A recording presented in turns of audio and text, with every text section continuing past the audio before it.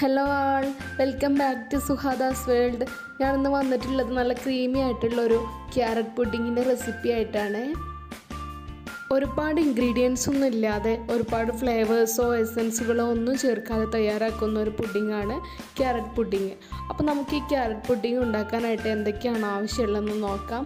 ഞാനിവിടെ ഒരു cup carrot എടുത്തിട്ടുണ്ട്. അതായത് രണ്ട് വലിയ ക്യാരറ്റാണ് ചെറുതായിട്ട് സ്ലൈസ് ചെയ്തെടുത്തിട്ടുണ്ട്. പിന്നെ ഒരു എട്ട് ഗ്രാം ചൈന ഗ്രാസ് എടുത്തിട്ടുണ്ട്.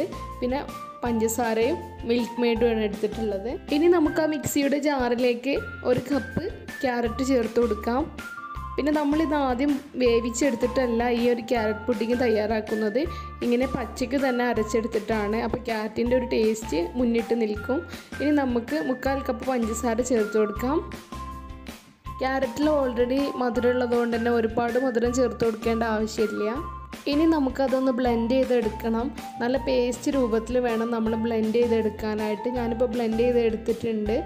നല്ല പേസ്റ്റ് രൂപത്തിൽ കിട്ടിയിട്ടുണ്ട്. നമുക്ക് വെള്ളമൊന്നും ആവശ്യമില്ല. ഇത് അരച്ചെടുക്കാൻ വേണ്ടിയിട്ട്. ഇങ്ങനെ തന്നെ അരച്ചെടുത്താൽ നല്ല പേസ്റ്റായിട്ട് കിട്ടും. ഇനി നമുക്ക് ആ ചൈന ഗ്രാസ് ഞാനൊരു പത്ത് മിനിറ്റ് കുതിർത്ത് വെച്ചിരുന്നു. അതും ഒരു അര ലിറ്റർ പാലും കൂടി ചൂടാക്കണം. ഒരേ അടുപ്പിൽ തന്നെ രണ്ട് സ്റ്റൗവിലായിട്ട് ഒരേ ടൈമിൽ വേണം നമുക്ക് വേവിച്ചെടുക്കാനായിട്ട്. അതായത് നമ്മുടെ ചൈന ഗ്രാസ് ഉണ്ടല്ലോ അതും പാലും കൂടി ഒരേ സമയത്ത് വേണം സ്റ്റൗവിൽ വെക്കാനായിട്ട്.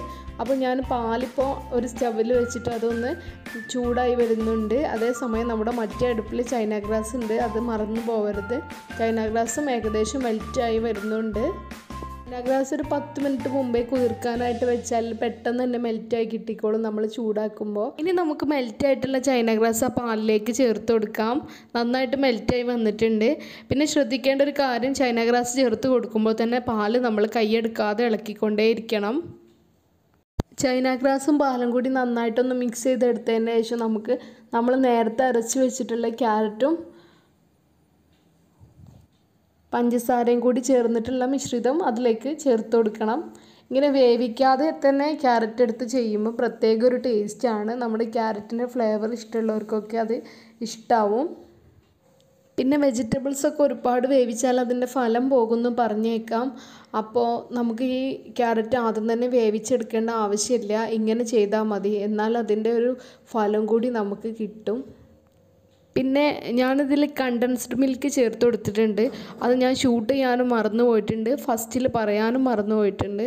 അപ്പോൾ ഞാനിതിൽ മൂന്ന് ടേബിൾ സ്പൂൺ കണ്ടൻസ്ഡ് മിൽക്ക് ചേർത്ത് കൊടുത്തിട്ടുണ്ട്. അത് ചേർത്ത് കൊടുത്താൽ ഒരു പ്രത്യേക ടേസ്റ്റാണ് നമ്മൾ കണ്ടൻസ്ഡ് മിൽക്കും കൂടി ആഡ് ചെയ്യുന്നതുകൊണ്ടാണ് ഈ ഒരു പുഡിങ്ങിന് ക്രീമി ആയിട്ടുള്ള ഒരു കൺസിസ്റ്റൻസി കിട്ടുന്നത്. ക്യാരറ്റും കൂടി ചേർത്ത് കൊടുത്തതിന് ശേഷം ഒരു പതിനഞ്ച് മിനിറ്റോളം ഞാനിത് നന്നായിട്ട് മിക്സ് ചെയ്ത് കൊടുത്തിട്ടുണ്ട്.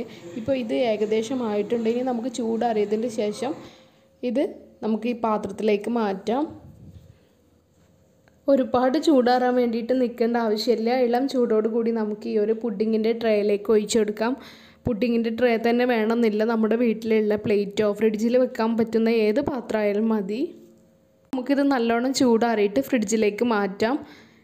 ഇതൊന്ന് സെറ്റായിട്ട് വന്നിട്ട് ഫ്രിഡ്ജിലേക്ക് മാറ്റിയാൽ മതി. ഞാനിതിന്റെ മുകളിൽ ഗാർണിഷിന് വേണ്ടിയിട്ട് ക്യാരറ്റാണ് ചേർത്ത് കൊടുത്തിട്ടുള്ളത് ഗ്രേറ്റ് ചെയ്തിട്ട്.